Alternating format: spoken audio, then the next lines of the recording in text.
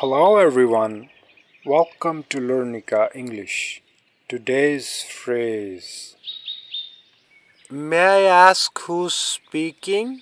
ये भी आसान है यानी कौन साहब बात कर रहे हैं Example Hi, um, I called earlier about our reservation.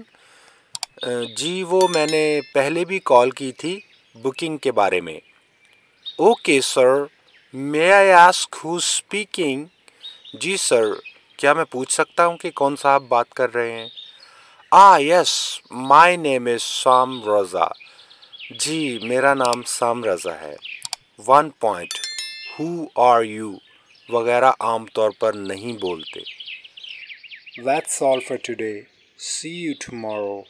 Bye.